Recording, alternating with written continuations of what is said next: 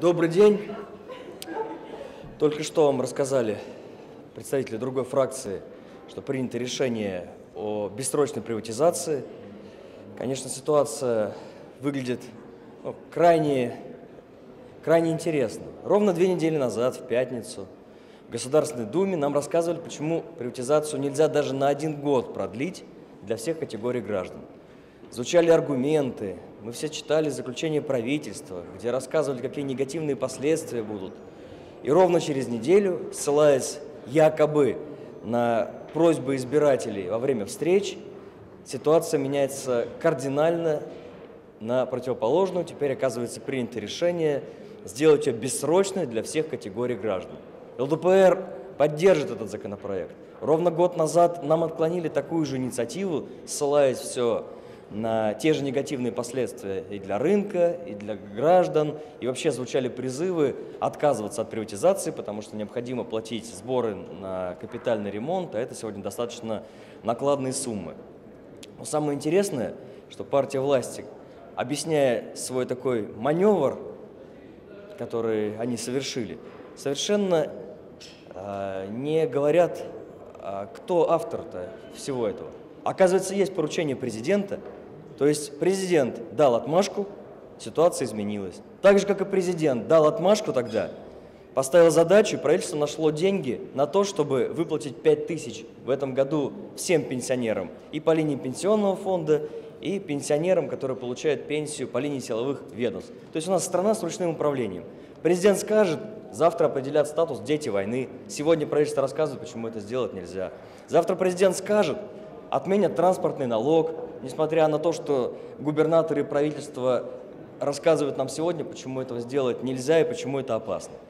Поэтому мы все-таки надеемся, и все встречи, на которых присутствует э, наш лидер, э, где, где встречается с президентом, либо в личном качестве, либо э, на госсовете, мы наши предложения, наши идеи передаем, которые выработаны в ЛДПР, и со временем они начинают работать. Также несколько лет назад мы внесли проект закона о том, чтобы отменить внутрироссийский сетевой роуминг. Сначала нам сказали, этого делать нельзя, потом нас поддержало правительство э, Минсвязи, потом они свою позицию скорректировали, но публично заявили, что благодаря фракции ЛДПР э, Большая Тройка и другие операторы, они и так предложили уже отдельные пакеты, которые позволяют экономить нашим гражданам, когда они перемещаются из субъекта в субъект. Но мы все-таки настаивали на том, чтобы вообще убрать такое понятие, как внутрироссийский сетевой роуминг. И в пример приводили европейские страны. Сейчас вообще хотят сделать весь Евросоюз одной зоной тарифной. Или Америка, где звонок, например, по Нью-Йорку или из Нью-Йорка в Майами, из Нью-Йорка в Сан-Франциско одинаково тарифицируется. Но нам опять говорили про то, что якобы все это может привести э, к э, удорожанию для граждан стоимости мобильной связи. Теперь, оказывается, нет. Федеральная антимонопольная служба говорит о том, что все это неверные беспокойства, никаких удорожаний не будет, все нормально. И со временем мы от э, темы внутрироссийского роуминга откажемся. Опять эта тема стала актуальной, и операторы уже готовы отказаться от внутрироссийского сетевого роуминга. Вывод какой? Все мы делаем, но делаем с опозданием. 5, 10, 15, 20 лет. ЛДПР является неким генератором, катализатором и импульсом в принятии решений. Надо слушать ЛДПР. Еще несколько комментариев. Вот вчера скандал с очередным значит, внедорожником. Там молодой человек снимал на камеру, как э, автомобиль двигался по тротуару. ГИБДД начало проверку. Чем проверка закончится? Во-первых, в соответствии с правилами дорожного движения есть основания для автомобиля находиться на тротуаре там, при определенных условиях, то есть либо проверка закончится ничем, либо максимум административный штраф – 2500 рублей. При этом никого не удивляет та абсурдная ситуация, которая создана в Москве. Вот движение по тротуару – это очевидная общественная опасность, она наказывается, э, такое противоправное действие, оно наказывается легче, то есть 2500 административный штраф. Меньше, чем когда автомобиль просто стоит на тротуаре. Тогда 3000. И это сделали кто? Депутаты Государственной Думы. Потому что приняли повышенные штрафы для Москвы и Санкт-Петербурга, которые абсолютно нелогичны э, в правом понимании. Но вот э, сделано это было специально в интересах правительства Москвы и Санкт-Петербурга, чтобы активнее наполнялись бюджеты. И э, то, что э, пытается в этой ситуации как-то привлечь к ответственности или в негативном плане выставить руководителя Ленкома, в данном случае он пассажир, он никакой ответственности не несет. Отдельно, может быть, его неприличные высказывания могут содержать отдельные признаки правонарушения, например, оскорбления. Но в целом вся ответственность на водителе. И мы посмотрим, чем зак закончится эта ситуация. При этом никого не удивляет ситуация, когда вчера замерзла бабушка, а, там, 83-летняя, в Щелковском районе. Она лежала в больнице, вышла ночью погулять. Куда смотрел охранник, непонятно. Нянечки, непонятно. Вышла, упала и замерзла, потому что подняться не смогла. А до этого инвалид-колясочник приехал в учреждение социального назначения и не мог достучаться, замерз на улице. Это не обсуждают. Вот обсуждает на 100 Тимур с э, Амуром, там, э, тигр и козел. То, что пусть говорят, то еще какую-нибудь ерунду. А серьезные вещи, когда гибнут люди или собаки загрызают, это оставляет без внимания. И то, что касается всех нас – Сегодня общественная организация, которая объединяет э, производителей молока, выразила обеспокоенность, что возможно подорожание цен на молоко, нехватка продуктов. Мы разделяем эту обеспокоенность, потому что у нас Министерство сельского хозяйства принимает решение, а потом начинает анализировать негативные последствия. Мы уже высказались э, в Россельхознадзоре, что якобы это все пиар, никакой, никакого беспокойства здесь проявлять не надо. А знаете, почему не надо? А потому что богатые будут пить молоко и молочную продукцию потреблять с частных ферм. Они сегодня есть и в Подмосковье, в ближайших э, регионах, там Калужская, Рязанская, Брянская область. А те, кто это не сможет, будут пить порошковое молоко. То есть опять освобождают рынок для порошкового молока. Лет 10 назад мы были в Белгороде, где супруга бывшего мэра Москвы Батурина открыла большую ферму. Выращивали они коров, производили молоко. Вы думаете, куда вся эта молочная продукция шла? На российский рынок? Нет, в Германию. А из Германии привозили порошок. Здесь размешивали и продавали.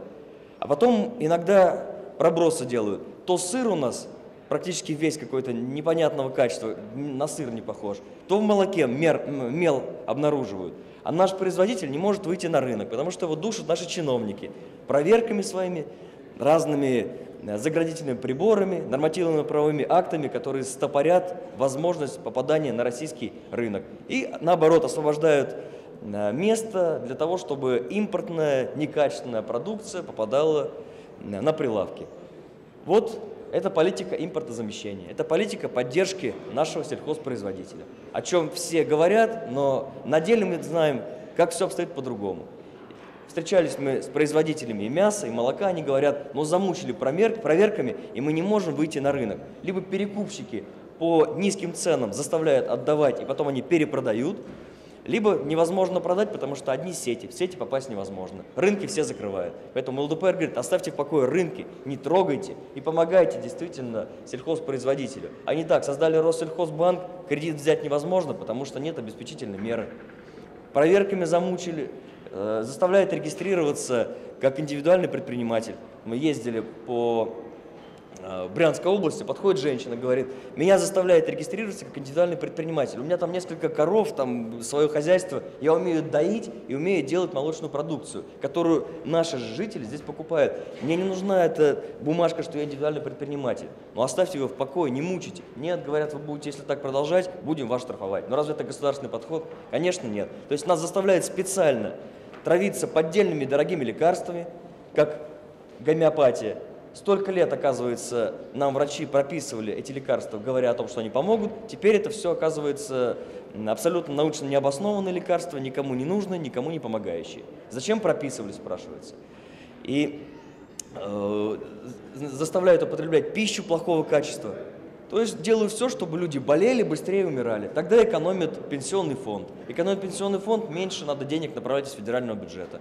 Отличная социальная такая политика в нашей стране. Спасибо. Буквально два тезиса в добавлении к тому, что Ярослав Евгеньевич сказал. Но первый и вопиющий случай вчера произошел, э, там, где не должно быть никакой политики и хамства, а только рыцарское поведение на чемпионате мира по биатлону. Французский э, спортсмен Мартин Фуркат сначала подсечку э, сделал нашему спортсмену, а в последующем очень по-спортивному повел себя на церемонии награждения. Уже не первая выходка Мартена Фуркада в отношении российских спортсменов, биатлонистов, а, в том числе в отношении тех, которые никак не замешали себя в каких-то допинговых скандалах или околоспортивных скандалах. Поэтому будет разумно, наверное, Мартену Фуркаду получше узнать русских, их характер, их э, душу, культуру, обычаи. Поэтому ЛДПР приглашает Мартена Фуркада в Москву, может быть, 31 марта, в день взятия Парижа. Купим ему билеты в Бородинскую панораму, пускай он посмотрит музей войны 12 года и на ярком примере убедиться, что бывает с теми, кто встает на пути у русских. А, второй момент, на который необходимо обратить внимание, бить во все колокола, в том числе и в зале пленарных заседаний – появилась очень опасная забава у нашей молодежи. К зацеперам и джамперам добавились, э, добавилась такая забава, как «беги или умри», а, набирающая обороты, где молодой человек там, или девушка должна заснять на видео, как она в непосредственной близости, на опасном расстоянии перебегает дорогу движущимся автомобилем. А, мы знаем, что детский омбудсмен уже отреагировал определенным образом, но надо нам эту дискуссию продолжить как можно быстрее на площадке Государственной Думы. Возможно, дать уже сегодня протокольное поручение и Комитету по делам семьи и детей, Комитету по информационной политике и, конечно, по безопасности, а, для того, чтобы они предприняли какие-то меры, рекомендации общественным организациям, образовательным учреждениям для профилактики вот подобной очень опасной для жизни и здоровья наших детей забавы. Спасибо.